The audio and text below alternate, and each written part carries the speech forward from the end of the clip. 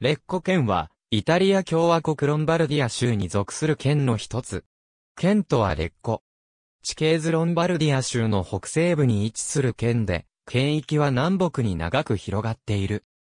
県都、レッコは、県域中南部に位置し、コモから東北東へ 24km、ベルガモから北西へ 28km、シュートミラノから北北東へ 47km の距離にある。隣接する県は以下の通り。2001年の国勢調査に基づく居住地区別人口統計によれば人口5000人以上の都市は以下の通り。1992年にコモ県とベルガモ県から分離した。レッコ県には2021年1月1日現在84のコムーネが属する。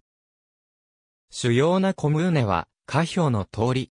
左端の数字は ISTAT コードを示す。人口は2021年1月1日現在。2001年の国勢調査時点では90のコムネが属していた。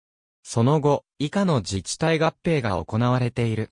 また、2017年12月22日にトレで、ブージュの所属が、レッコ県からベルガモ県に戻っている。広域行政組織である山岳部共同体は以下が置かれている。ありがとうございます。